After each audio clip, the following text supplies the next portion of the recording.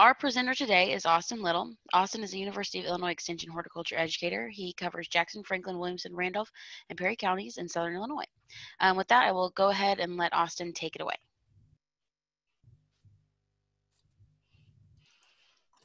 Hello and welcome everybody today.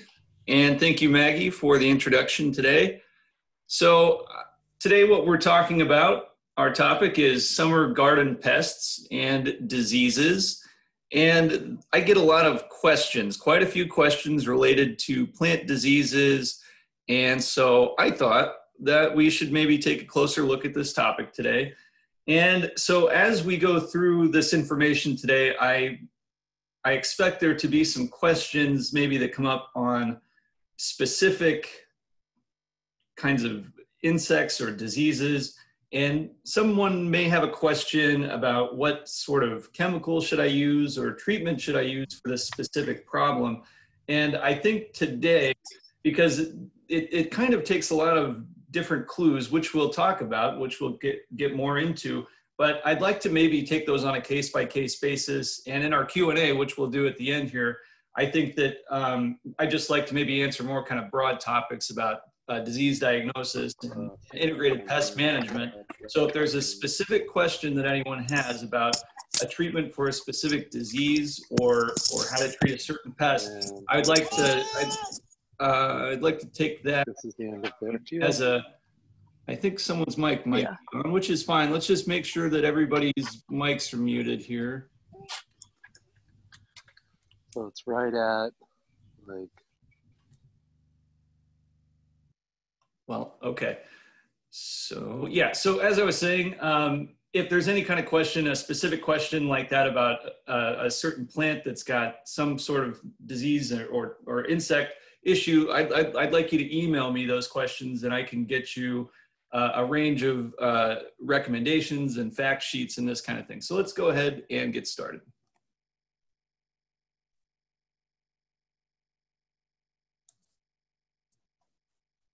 And so what we're going to focus on today is what plant diseases are, uh, what causes plant diseases, and how to recognize what the problem is. Then how do we mitigate or manage these problems that are eventually come up in any kind of garden. So all gardeners run into some disease or insect pest eventually. It's kind of the nature of the beast. And so uh, we're also going to talk about IPM and disease diagnosis.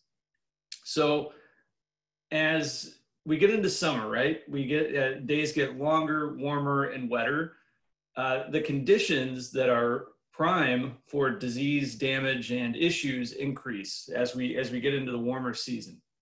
And so, integrated pest management is an approach to gardening and plant care that is proactive. So it's it's preventative rather than reactive or responsive. So we're, we're using practices and techniques that are going to help kind of uh, get out in front of some of these problems before they become a bigger problem or we can maybe avoid uh, avoid these issues altogether. And so integrated pest management is a process where we can where we can take multiple practices and use them to uh, mitigate these problems while minimizing risk to people, the environment, and, and to our pollinators as well. Um, and so these, these, these practices kind of fall into a few main categories, and that is uh, biological practices, cultural practices, physical practices, and then kind of the last ditch effort or kind of the the um, the, the, the nuclear option is the chemical controls. And, and in some cases, when we use these chemical controls in combination with these other practices, uh, we can have uh, a more effective kind of use of, of chemicals. And we'll, we'll talk about each of these. And then kind of overall, we want to be monitoring, monitoring our gardens for uh, any kind of, any kind of occurrence of changes in, in the health, the overall health of our plants, if we see anything weird, insects that, that are maybe causing damage. So just monitoring and taking notes, not just from, from, from day to day, but from season to season and from year to year. So the more information that we have about our gardens and about our about our our gardening projects, uh, the more kind of uh, power we have to to to be able to dial things in and be able to kind of change things as we need. Okay, so then let's talk about what a disease is. What's the definition of a disease? And a plant disease is a uh, abnorm an abnormality in the in the physiology or the morphology of a plant, mainly the physiology. So it's a harmful alteration of the normal physiology and basically the normal function or or biology and growth of a plant. So something is going wrong and a condition in which a plant differs from its normal healthy behavior. And that's either going to be morphology or appearance, structure, or function. And diseases tend to occur over a period of time. So it's not something that's going to happen all at once. So, so these tend to happen over a, an extended timeline. And infectious diseases can be infectious or non-infectious. So they can be caused by a organism, a biotic or living, uh, living organism, or they can be caused by the environment. So that would be abiotic. So a disease can be caused by either living or non-living forces. Um, non-infectious diseases cannot spread or be transmitted to other plants and they're caused by non-living or non-pathogenic factors. So examples of that would be pesticide damage, storm damage, uh, damage from stress of some kind, from a nutrient deficiency, from too much or not enough water, um, things of that nature. So those are going to be non, non-living abiotic uh, issues, which are also fall under the category of diseases. They're also defined as a disease, but they're environmental. Now, on the other hand, I think the one that maybe people are have, have more of, a, of awareness of are the infectious diseases that can be spread and transmitted uh, from plant to plant, from organism to organism. So these are caused by living or, or biotic organisms. So we call those pathogens. And 75% uh, of the samples that the U of I plant clinic receives are actually non-infectious disease problems from, from home gardens and, and home orchards and these kind of settings.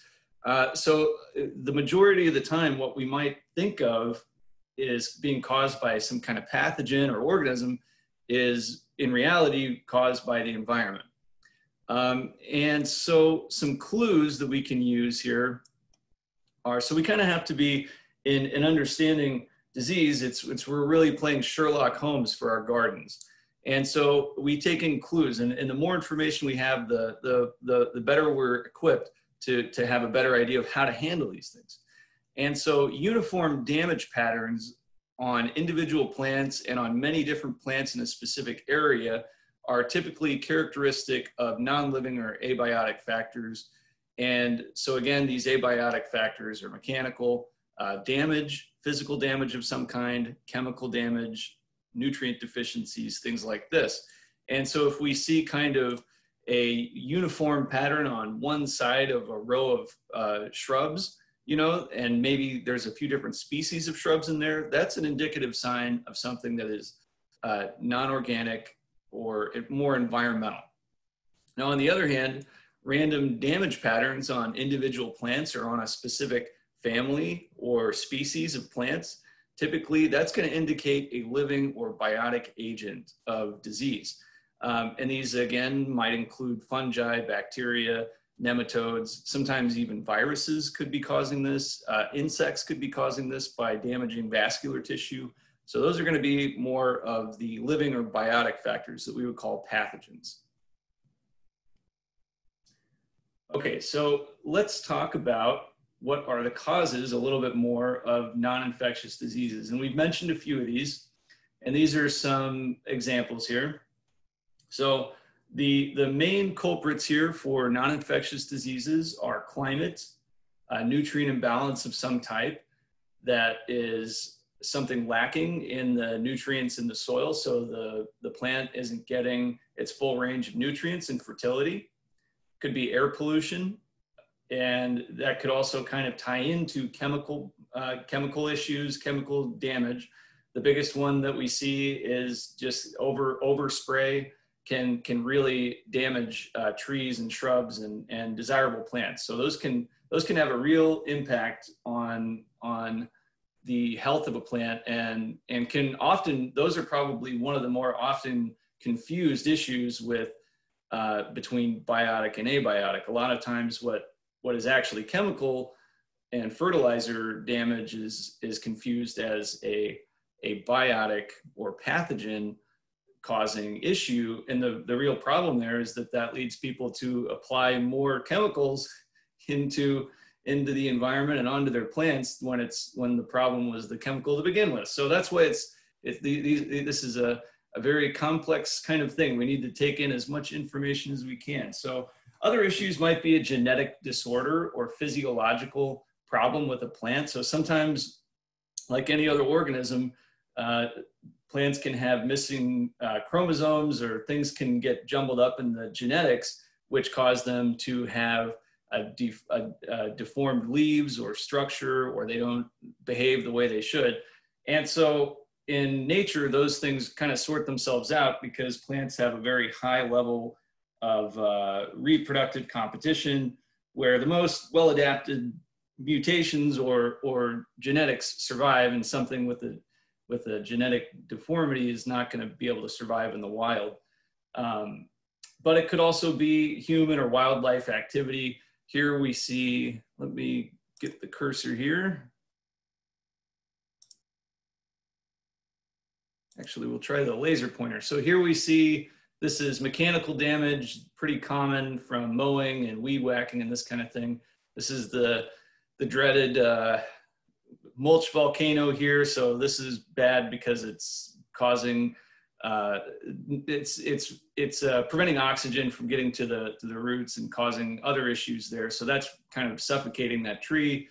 This is blossom end rot, and that's caused by calcium deficiency. That's a very common problem for tomatoes, and it looks like something caused by a pathogen, but it's actually just a calcium deficiency. And then we have uh, this is nitrogen deficiency here. So this would be uh, chlorosis from another kind of uh, nutrient deficiency. And I've got a video on our YouTube channel where I talk about plant nutrition if you'd like to look more into that. And some of these topics branch off to, to some of the other topics that I've covered. So we'll, we'll kind of stick more to disease today and, and IPM. And so then what causes the infectious diseases, the biotic diseases? So that's going to be the, the, the main the most common cause of, of pathogen or biotic diseases is fungi or fungus. Uh, next is going to be bacteria and insects. Now, in gardens, sometimes we'll run into root knot nematodes, but the nematode issue is, I think, more of an agronomic issue, usually for specialty crops. Uh, for the home garden, it's often not the problem. There's usually something else, whether it's a fungi, bacteria, or, or more often is the case, it's a it's an environmental problem. And then viruses also viruses are also going to be more of an agronomic problem, but again, they do pro- they they do pop up. And then we have a few other odd ones, uh, phytoplasms, uh, parasitic plants, but the main ones that we'll focus on today, I think, are the most common that the home gardener gardener will encounter, and those are going to be the fungi, bacteria, and then insects. And insects can be vectors, and we'll talk about what a vector is, but insects can be vectors for both of these and for viruses. And so this here, I'm, I'm wondering if anybody's ever seen one of these. This is caused by a parasitic wasp. And it, uh, it, only, it only develops these in, I believe, white oak, species of white oak.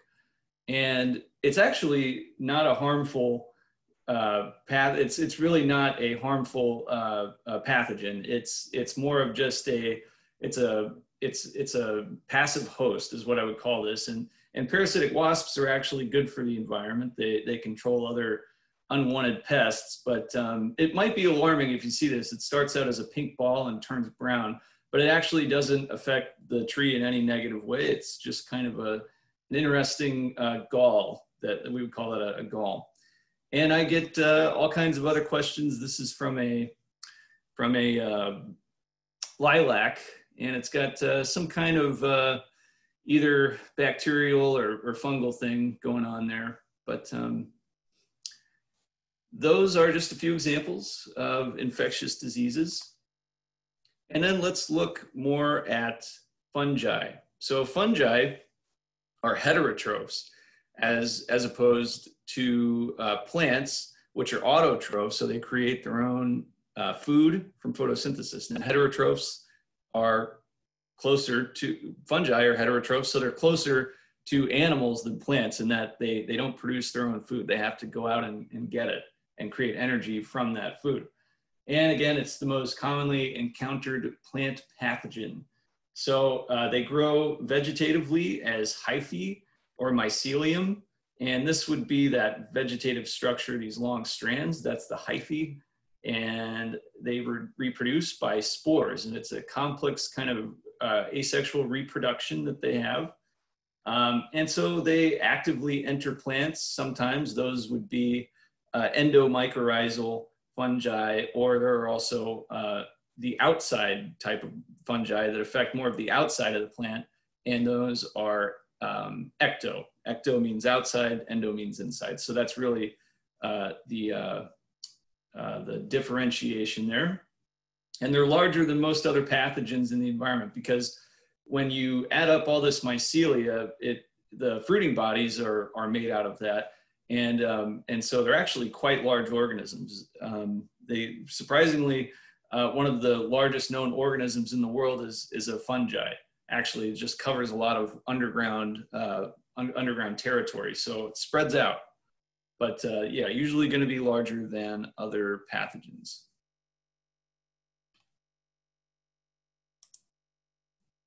And so, how do fungi spread in the garden? So they spread by insects spreading them around, environment, weather, they spread by wind, rains. A lot of a lot of fungi and bacteria spread by uh, water splashing on bare soil and then splashing up onto the foliage. Uh, they also spread by they spread on equipment, tools, feet, people's hands, uh, soil and water uh, runoff, uh, spread by human and animals, and in propagation they can spread in seeds, plants, containers. So there's lots of ways that, that it can spread. It's easily spread, spreadable, uh, transmittable. And so common symptoms. So symptoms are going to be, these are going to be clues. Now, symptoms are going to be evidence of the condition or evidence of damage caused by this pathogen or this disease. It might be that it's um, it's abiotic. So a symptom could be abiotic or biotic. A sign is going. A sign of a disease is is is uh, physical evidence. So, for example, uh, we see somebody spraying a tree with a with a chemical. That's a sign. Or in a in a more subtle kind of uh, example, with uh, certain bacterial pathogens that if we take a cutting of the of the of the stem of a plant and put it in water you can see ooze bacterial ooze seeping out of that stem.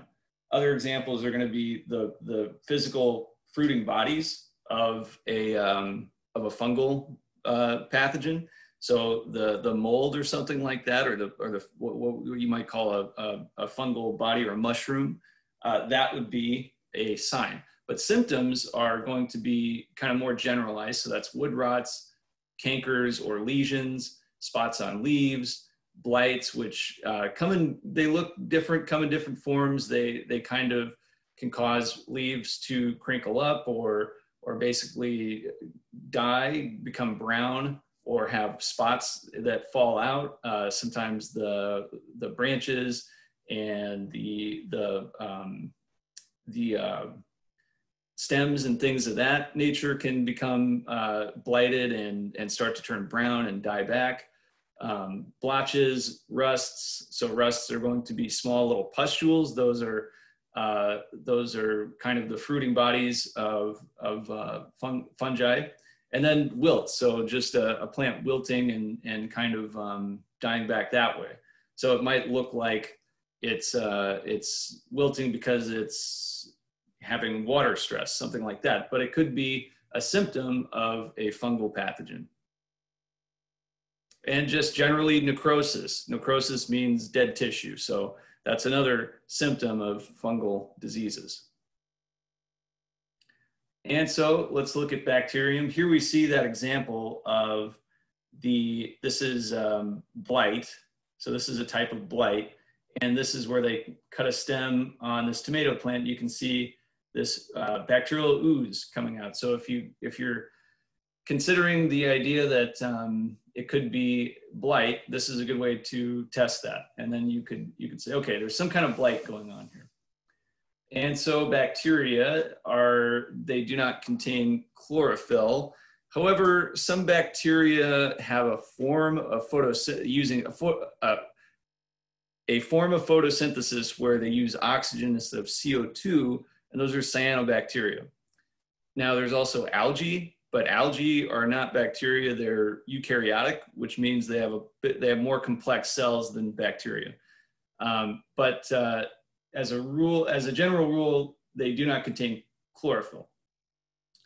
And single-celled, they're single-celled organisms and they reproduce by asexual reproduction or cloning. Basically, they bud or divide in half. So think about how yeast propagates itself and they require a natural opening or wound to get into the plant. So if we have other pest problems like aphids or, or any kind of bug that has a sucking mouth part, those are going to be uh, vectors or carriers of bacteria. So when we see tomato blight, that's usually in association with aphids or spider mites or some other kind or, or some other kind of insect that is causing uh, tissue damage where then this bacteria is able to then enter enter into the uh, the tissue, and they're they're microscopic. Whereas fungi, on the other hand, can sometimes be seen with the naked eye.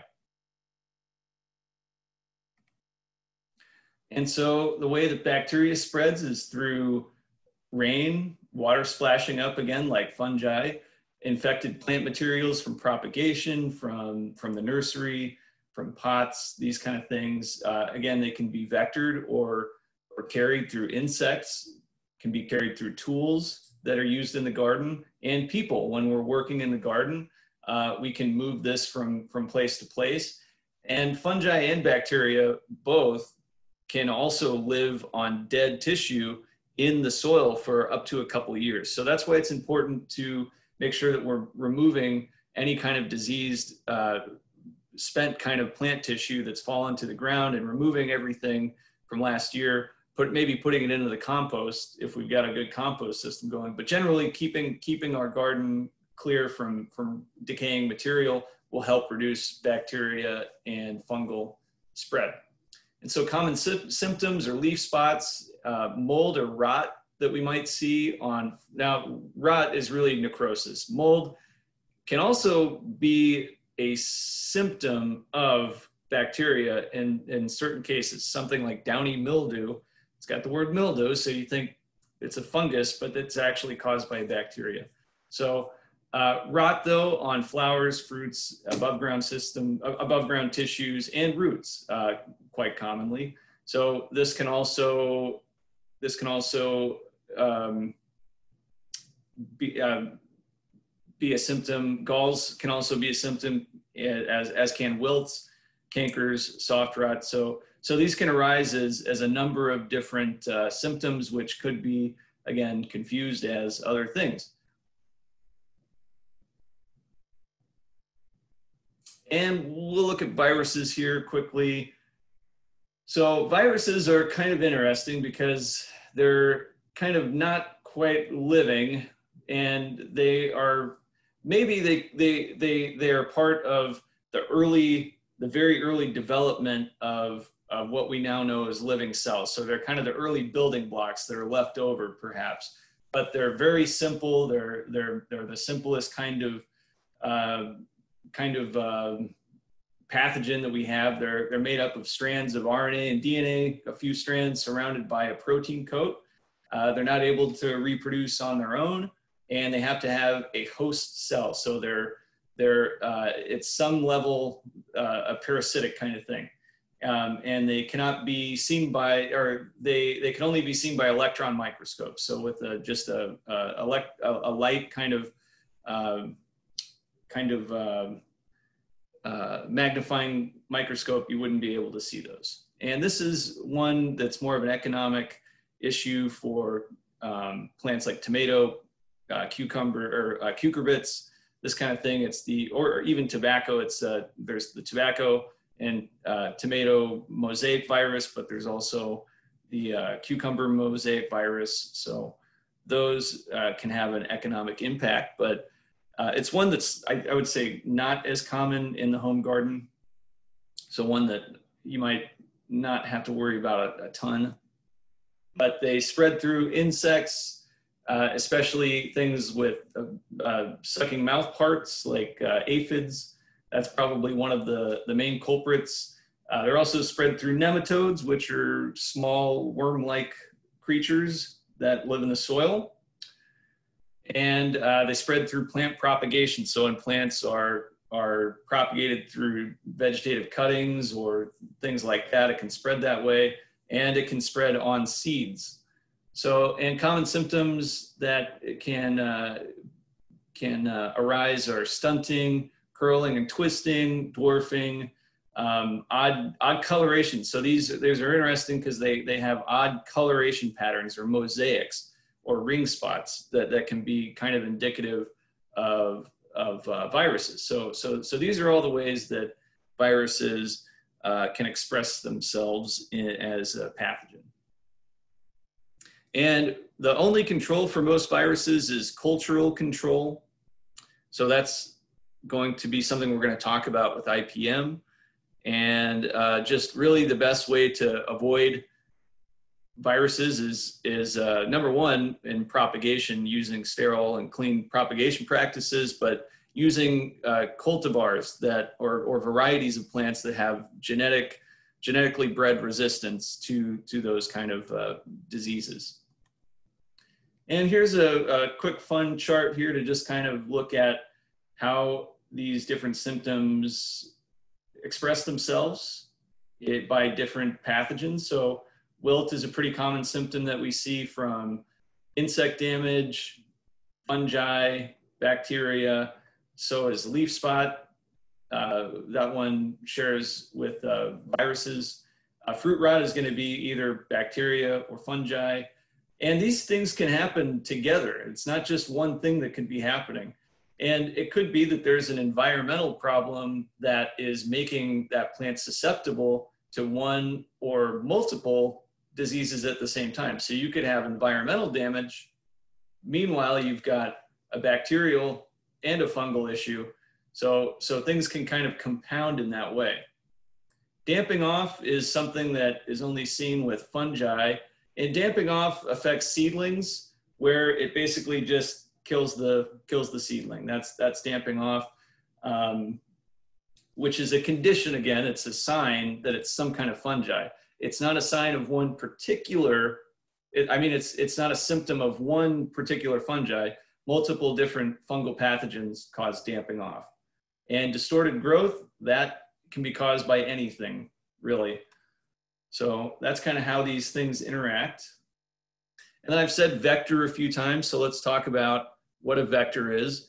And a vector is a carrier of a disease. So a living organism, in one definition, examples are insects, birds, uh, other animals, people, parasitic, uh, parasitic plants even can be vectors of disease if they're, if they're causing a, a damage to a tree or a plant and, uh, and, and uh, other organisms. So organisms that move from that are that are uh, that that aren't that are mobile, uh, mobile organisms that can move around.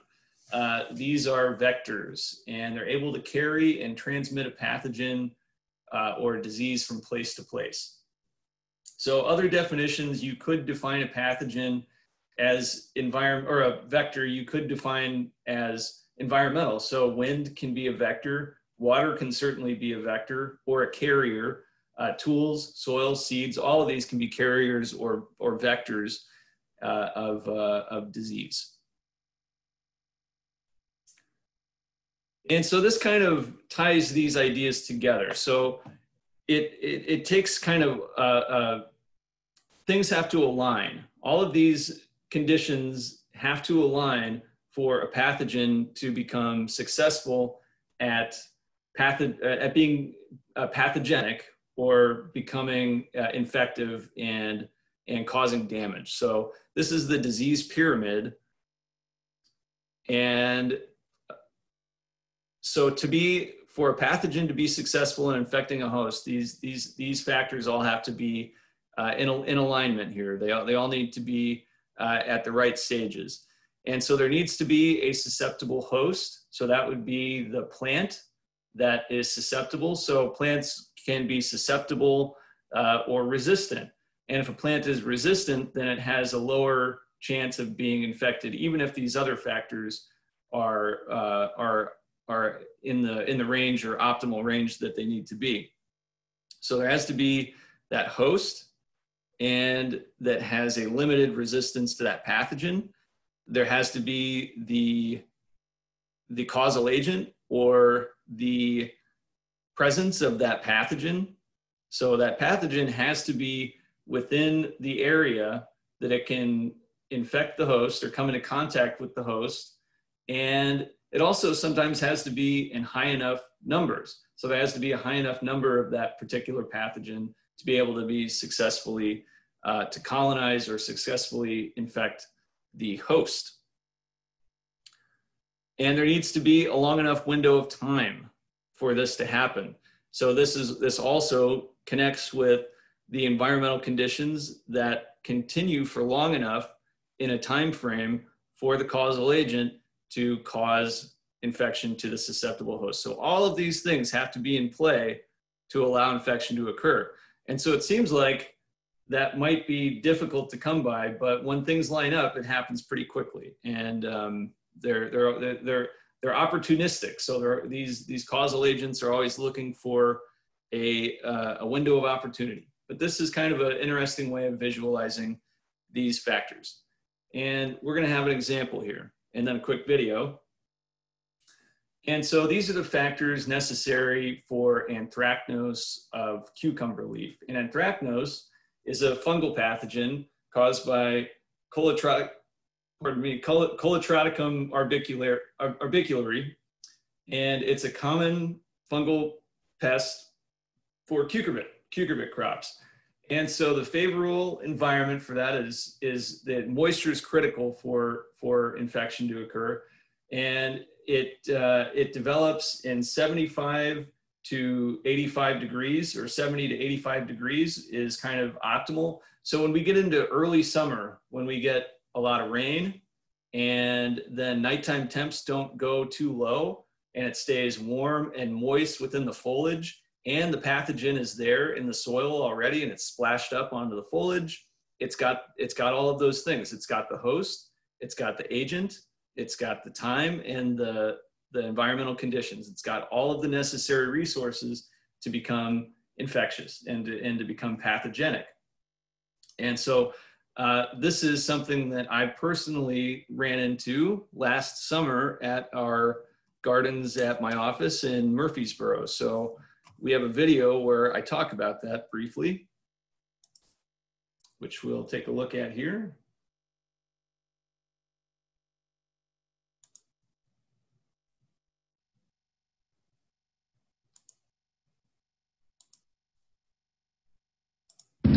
Colletotrichum orbiculare is yet another pathogen that may be uh, to blame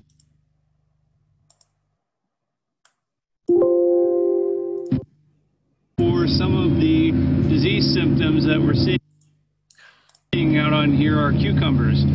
and uh, uh, Colletotrichum is a is anthracnose, otherwise known as anthracnose. It's another uh, fungal pathogen, and again is uh, prime for the conditions that we've had. So the, the prime conditions for uh, for uh, reaching Uh, for for these uh, pathogen uh, infections are weather. So the humid, warm, excessively wet weather uh, time, uh, enough uh, of a time of a window of time for for these pathogens to be able to establish and and reach infectious levels. our hosts, these cucurbits out here that um, evidently have are lacking in in resistance to these pathogens and um, and then the and then the uh, the presence of those pathogens themselves. So again, and it is difficult uh, sometimes to be able to pinpoint uh, in the field without uh, precision laboratory analysis exactly what pathogen we're looking at. Okay, and here's a bit closer up look of the uh, leaf spots on our melon plant here and looks pretty similar. It has that kind of uh, uh, angular, randomized, scattered kind of uh, pattern there, which is pretty indicative of a pathogen infection. Okay, and one other course of action that I'm going to take is I'm going to thin these out. Um, I'm going to take the vines that are worse for wear and go ahead and thin those out. Get a little more air circulation moving through our vines. And, you know, with the weather conditions that we've had this spring, these are ideal, perfect conditions for not only fungal, uh, uh, fungal pathogen um, uh, infection, but also uh, bacterial bacterial infections. So these are just prime conditions for for these kind of uh, these kind of um, pressures.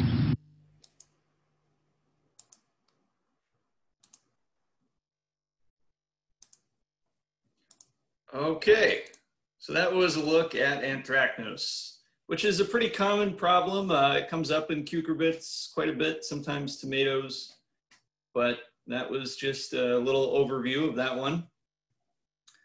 And so then a quick rundown of checklists. How do we diagnose plant problems? So we start with, ident first thing we need to do is identify the plant. Then we need to identify what the problem is or start looking at possibilities of, of what's going on. So that's inspecting the plant, inspecting the site, inspecting the plants around that, that particular plant. If they're the same species, is the same kind of same sign or same symptoms, look for symptoms, signs. Are we seeing kind of the same pattern of, of, of damage or, or, or, or um, information there? And so kind of just looking around, taking inventory, looking for patterns between these plants. Uh, so maybe that could give us a clue. Is it could give us a clue to environmental issues or maybe lead us in the pathway of it could be a pathogen. So, and then looking if we take some, if we have a, a journal, a garden journal, we can look at history. We can keep, we can say, well, this came up before in the same area. What were the conditions then? So kind of tying all these things in together. Uh, again, kind of, kind of being a detective, um, like our botanist here. Um, and so putting these clues together to come up with a, a better picture a clear picture of what's going on. And from there, then we can start to look at, we can start to do some research. We can look at fact sheets, uh, plant disease reports, which I'll show you. Uh, we have a good collection of those through the extension, U of I extension, but every state extension has uh, plant disease reports and fact sheets. Um, and you can look up most of those for free. Um, so starting to look there and that can start to narrow down uh, management practices and what we can what we can start to do to uh, treat this issue.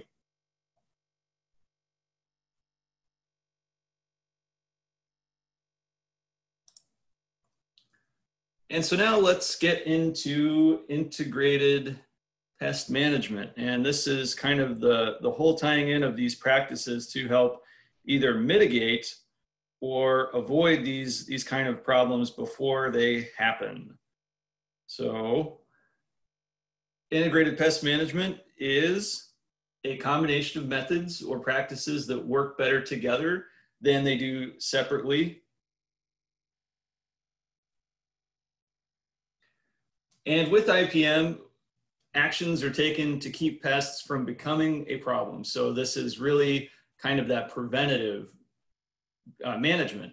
And we're using resistant cultivars, plants suited to the environment, so plants that are going to have a better chance at, at surviving, um, and that's going to be uh, resistant varieties or plants that are just better suited to, to an area, um, maybe maybe a certain species, something like that, that does better, and and just making sure that we're putting plants in our in our landscape uh, where they where they're going to do well. So so a, a, plant that needs full sun, if it's in the shade, it's going to it's going to become stressed. It's not going to be getting the cultural needs that that plant needs to be successful. And when a plant becomes stressed or starts starts becoming uh, unhealthy or or is uh, is lacking in something, that can open it up to other to, to diseases, to pathogens, because again, pathogens are always looking for uh, they're they're looking for the the easiest way in. That's going to be through a weak plant that that isn't uh, healthy. It's not uh,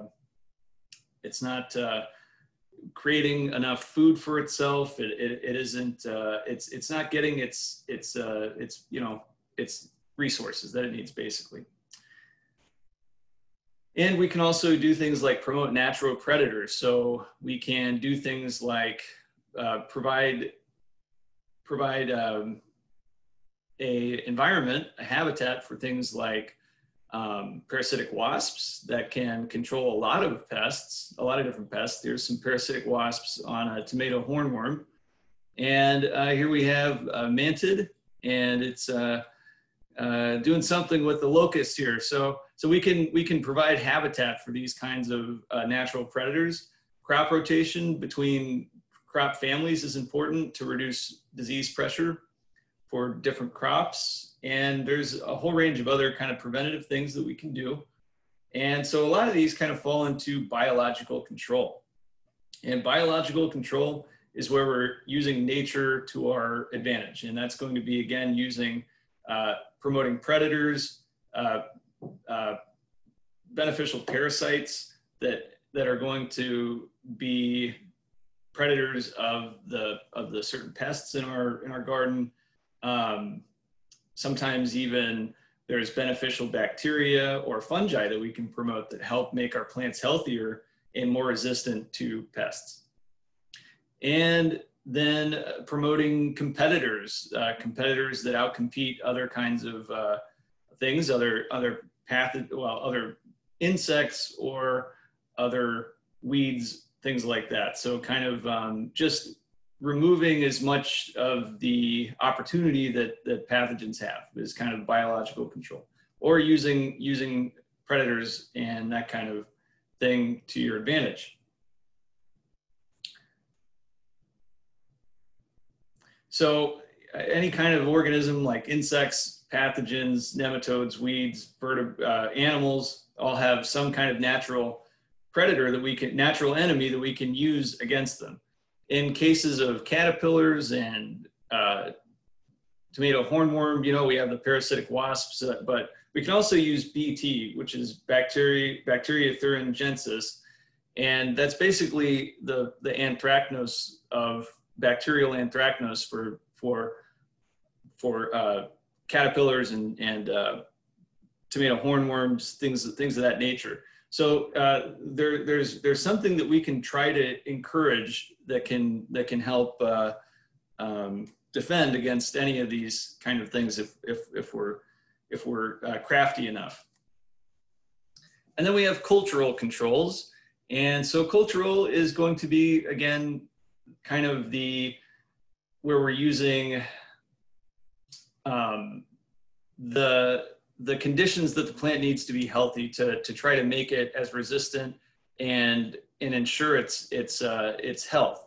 So in, in cultural practices, we're looking at reducing uh, pest establishment, maybe making a, a, a trap crop somewhere else to keep that certain pest away from our desirable plants. Um, so those are going to be things like irrigation practices, uh, other cultural practices will be reducing, uh, reducing pest problems, um, keeping, uh, keeping weeds in control, uh, pruning, these kind of things, making sure that uh, plants have enough light and uh, nu nutrients to be healthy. So really cultural controls are really trying to just improve the overall health of, of the plant and mulching is also a now it, it could be said that mulching is a physical or mechanical control but i would put mulching as as also i would put it also in the category of cultural controls uh, because it does a lot to maintain soil health and soil moisture and it uh, it, it, reduces uh, water splashing up onto foliage as well. And then we have mechanical and physical controls and mechanical and physical controls are going to kill or exclude a pest directly or make the environment unsuitable for it. So in the case of trying to control weeds, we can use solarization. So that just makes the environment uninhabitable for, for, for those organisms, kills off the seeds and it kills off the, the above ground vegetation so that we have uh, a clear kind of soil and we can kind of get that uh, weed seed bank under, under control. Uh, other mechanical or physical things are going to be physical traps or or um, things like that for rodents or insects um, where we're actually physically trapping them in something they can't get out of. So that would be physical control. Again, mulches for weed management. Uh, we can sterilize soil with uh, with uh, steaming it or using uh, so, uh, solar sterilization uh, for disease management and weed management and just barriers as well. Like a physical control could be chicken wire to keep out rabbits or, or bird netting to keep birds out and insects out. Um, that would be physical controls.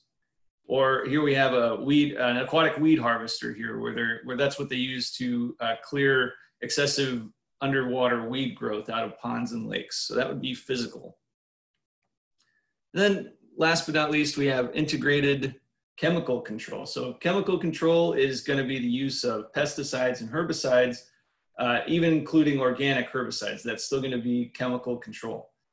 And these are used only when needed and in combination in, in, a, in a concentrated effort with uh, other approaches for more effective long-term control.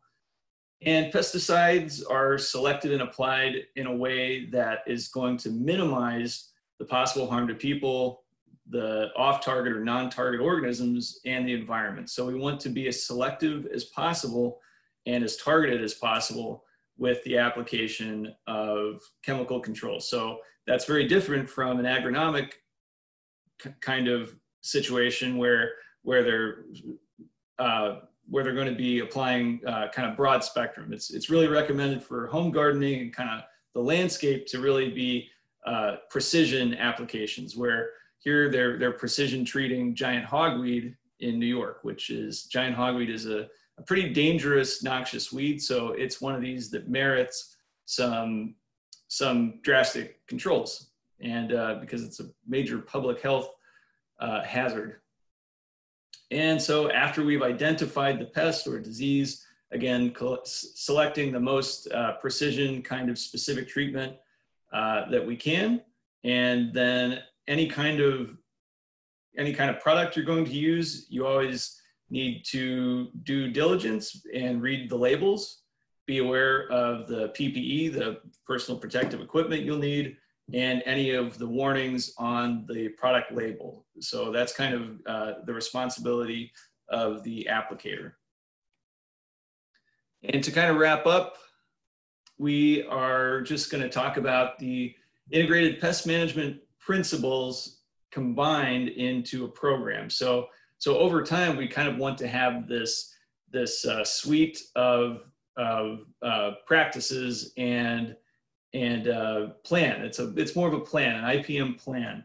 And that ties in uh, identifying the pests that we have, monitoring and assessing pest numbers over time, deciding if that pest number is at an economic or environmental threshold. So is it at a number or a level where it's time for further action? So sometimes it might not be. Um, but, uh, and that depends on what our goals are. Is it aesthetic or are we, is this something in a garden where it's grown for food? So those, those things are gonna be different for each of those settings. And then using preventative measures, as we talked about with biological controls, cultural controls, mechanical controls, preventing things before they happen. Uh, and if they do happen, um, taking, uh, assessing what the problem is, what the host is, assessing all of these, these uh, questions and, and pieces of information, and then coming up with a management strategy that, that we can hopefully turn into over time a preventative strategy to get that under control. So if we've ran into it, now we know what to do. Now we might know how to prevent it in the future. So that is the kind of overview and guidelines for um, an IPM plan or program. And some resources here that are going to be helpful for you looking at IPM. So let's look quickly at the fact sheets.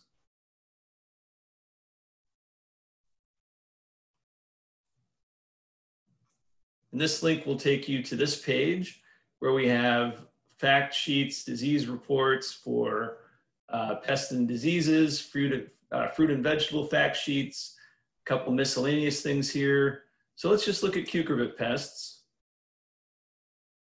which we kind of mentioned.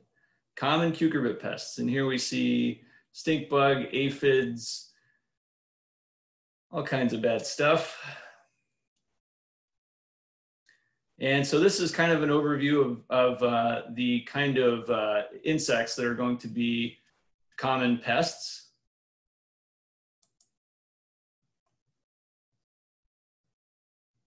And we can look at these fact sheets here.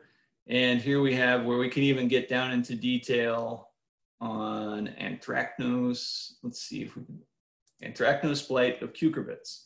And so this is what I had issue with on the cucumbers I was growing. And this gives us further detailed information on that, okay? And we can just kind of go down and pick a random one here. What, what's one that I've heard of? Oh, definitely fire blight of apples. So that's a very common fungal pathogen, or sorry, a bacterium, rather. It's a bacterium. And this talks about fire blight and what, and it gives us symptoms, disease cycle, and management recommendations. So those can be very helpful once we have a good idea of what we're dealing with.